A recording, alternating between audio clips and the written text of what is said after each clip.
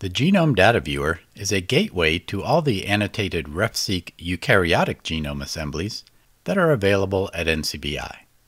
This video provides a very brief refresher on the Genome Data Viewer's homepage, then demonstrates a new way to navigate genomes using a table view. I'll start with the main search box and look for an organism that is not visible on the default tree. Let's search for oyster and select the Pacific oyster that immediately changes the tree and refreshes the panel on the right. In case you've missed it, you can get information on the latest annotation release with this letter I icon.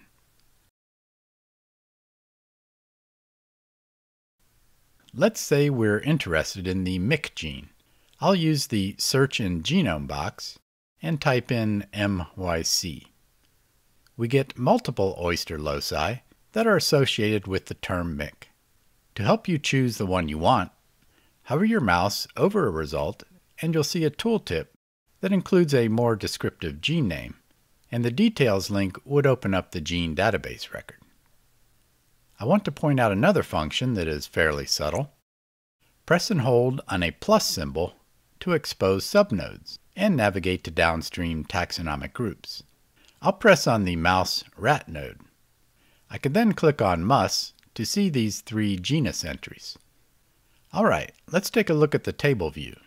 I've got mus musculus selected, and I'll click on the table icon under Switch View.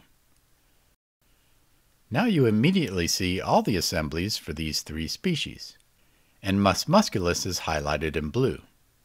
If you wanted to display a higher node, say all 29 assemblies for Rodentia, click on that open circle. Or maybe you want the guinea pig and close relatives. Press and hold on the circle, as I did in the other view, and you can display that group. If you want to download the assembly files for one of these species, use the download icon in the right of the row.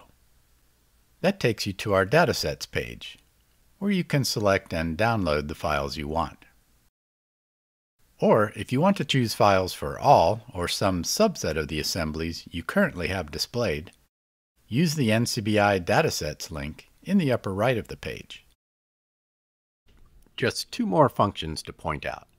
Another way to filter by genus is to use the name shown between annotation details and actions. For example, I could filter by macaca in this view of primates.